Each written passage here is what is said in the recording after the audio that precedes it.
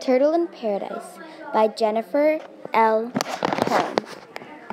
Turtle is a shy girl, and her delicate mom has to send Turtle to her aunt's house.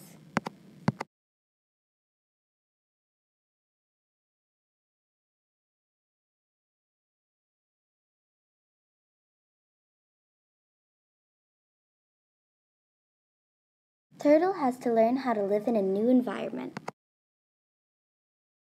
Her grandmother, who she thought was dead, is alive, but is she what Turtle expects?